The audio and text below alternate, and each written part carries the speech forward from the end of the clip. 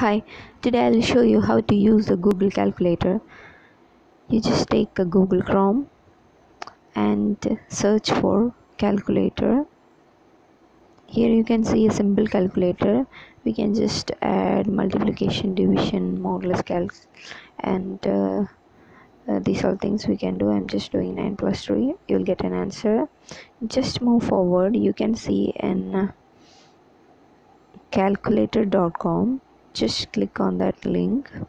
Here you can see different types of calculators. Standard calculator fraction ln calculator. Just move forward. See all types of calculators you can see. Also you can use it. And just for example i'm taking scientific calculator. This uh, calculator.com was launched of 1996 okay this is the free online calculator for any purpose.